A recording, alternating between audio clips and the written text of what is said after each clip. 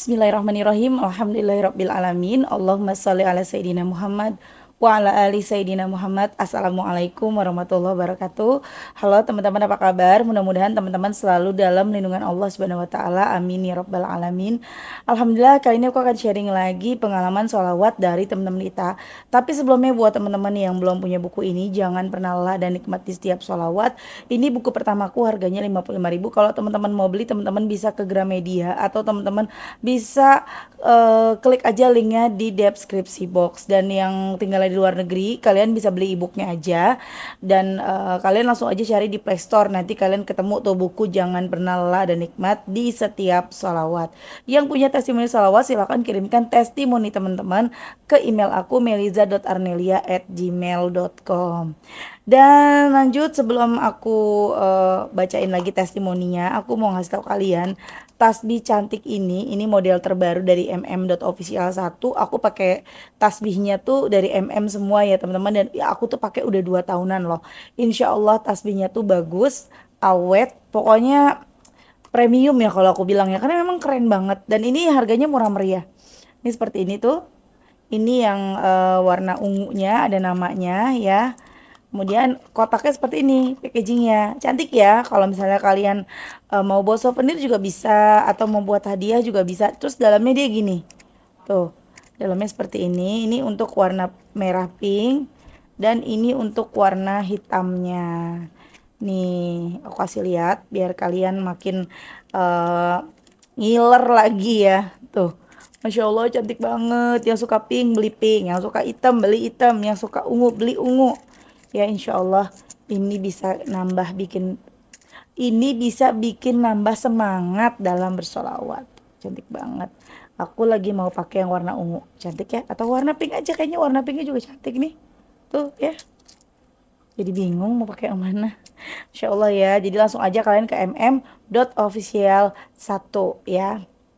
Oke lanjut. Aku akan bacain testimoninya. Ini dari Mbak Yeni. Nih teman-teman Assalamualaikum Mbak Mel, Waalaikumsalam. Perkenalkan nama saya Yeni dari Tangerang.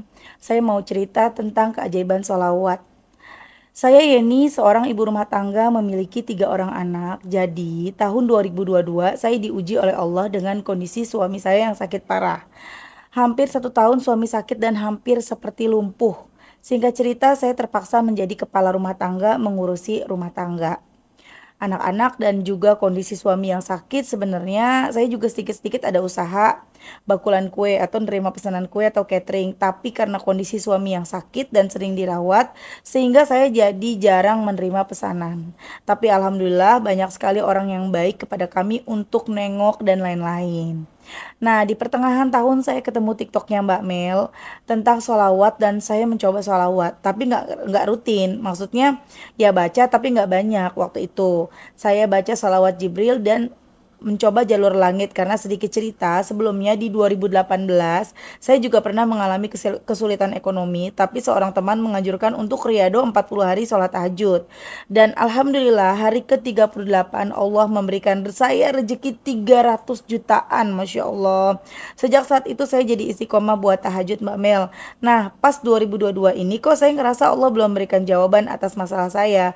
Makanya pas ketemu TikTok Mbak Mel saya coba buka lagi Masya Allah. Oh, saya coba buka IG dan YouTube Mbak Mel tentang keajaiban sholawat. Dan saya coba walaupun belum banyak, tapi bukan masalah saya selesai. Tapi bukannya masalah saya selesai, saya makin diuji oleh Allah. Suami belum ada perubahan juga. Anak kedua saya tidak dapat sekolah SMP negeri dan saya pernah ketipu orang Mbak Mel dan singkatnya amanah-amanah saya jadi banyak karena buat kehidupan sehari-hari. Tapi saya nggak patah semangat Mbak Mel karena saya sering nonton YouTube Mbak Mel. Saya coba makin kenceng buat sholawat. Saya istiqomahin di pagi hari di pagi hari saya target membaca munjiatnya 500 bahkan bisa sampai 1000 kali. Dan kalau siang atau sore saya baca sholawat Jibrilnya 4444 kali. Bisa lebih juga. Ya meskipun saya membaca semuanya sambil aktivitas karena mengingat saya kan harus mengurus rumah dan anak-anak. Alhamdulillah Mbak Mel karena sholawat begitu banyak keajaiban yang saya rasakan mulai nih ya yang pertama nih suaminya berangsur sehat dan dapat berjalan bahkan mulai bekerja lagi di awal-awal tahun 2023 Masya Allah.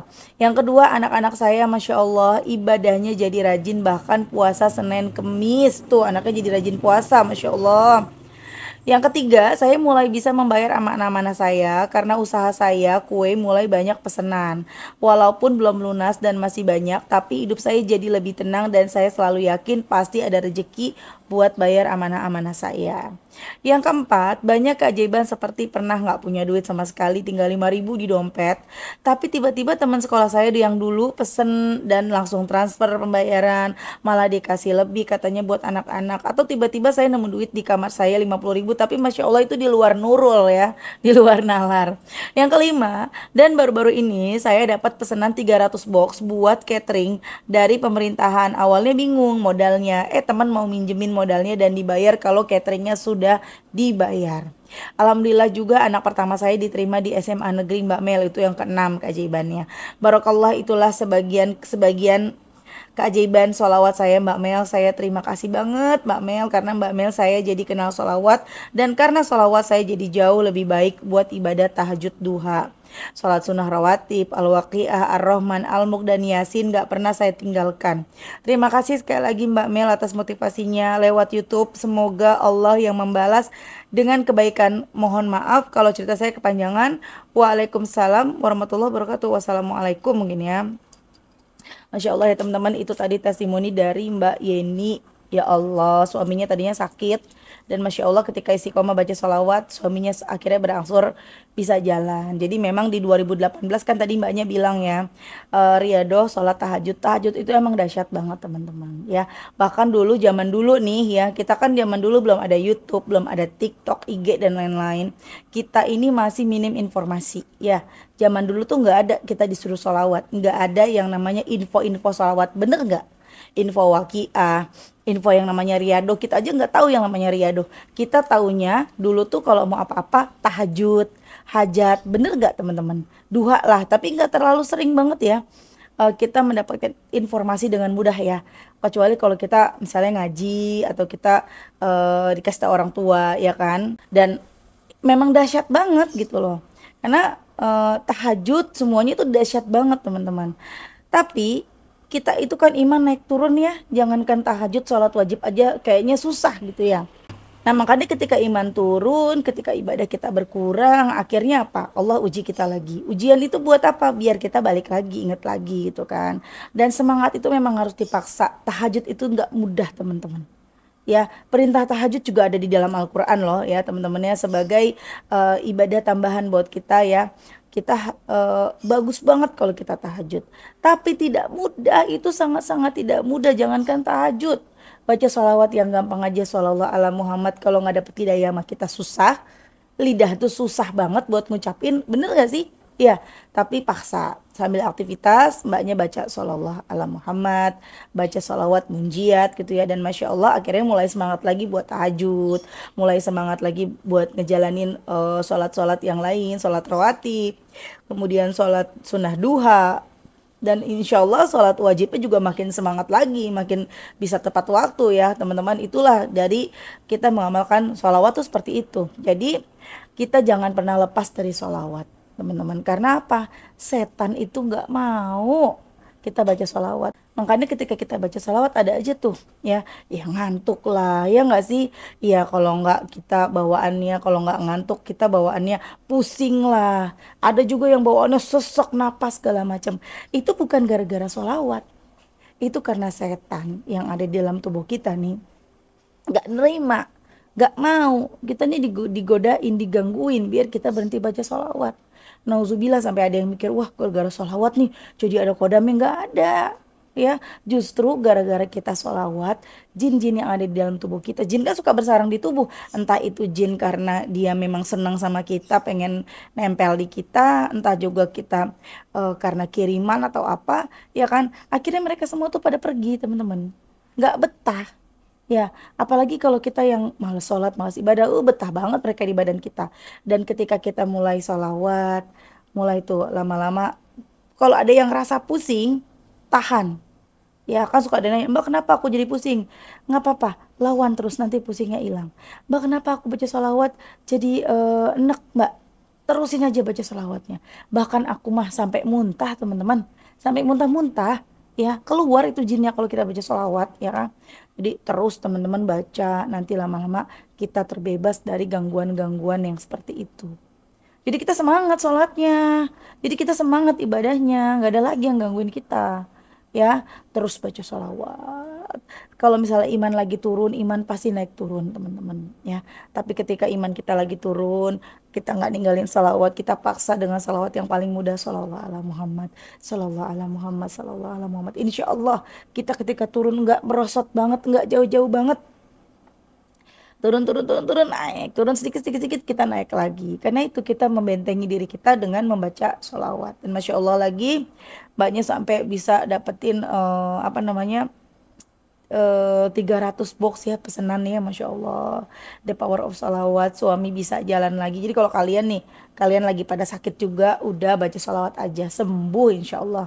Aku baru aja dapat email ya dari mbak siapa lupa tapi udah aku jawab di email. Mbaknya bilang mbak bisa nggak sih kita dengan salawat uh, minta yang nggak mungkin? Bisa nggak sih minta supaya jerawat aku sembuh? Bisa. Kamu mukanya jerawatan. Kamu mukanya kusam kamu mukanya uh, banyak masalah maksudnya banyak masalah-masalah di wajah. Salawat aja. Ya nanti insya Allah sembuh.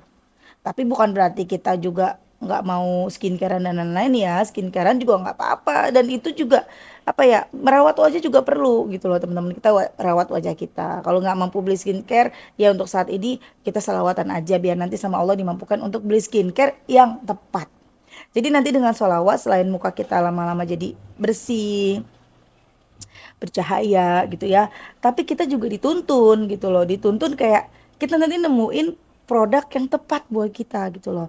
Produk yang cocok buat kita yang cocok di kantong cocok di kulit kita dan kita pokoknya ketemu jalan untuk uh, wajah kita jadi bersih. Bersih dari luar bersih dari dalam. Dari dalamnya apa? Dari hati. Kita rajin baca sholawat bersih hati kita insya Allah ke wajah juga beda. Walaupun kita mungkin kulitnya tidak putih ya kita kulitnya mungkin sawo matang atau kita hitam tapi insya Allah bercahaya insya Allah ya oke teman-teman terima kasih udah nonton. Semoga bermanfaat dan jadi motivasi buat teman-teman. Kita doakan semoga Mbak Yeni lancar terus rizkinya istiqomah terus baca salawatnya amin amin ya rabbal alamin. Begitu juga dengan teman-teman yang nonton semoga rizki kalian barokah doa-doa kalian segera diijabah. Utang-utang kalian juga lunas. Amin amin ya rabbal alamin. Assalamualaikum warahmatullahi wabarakatuh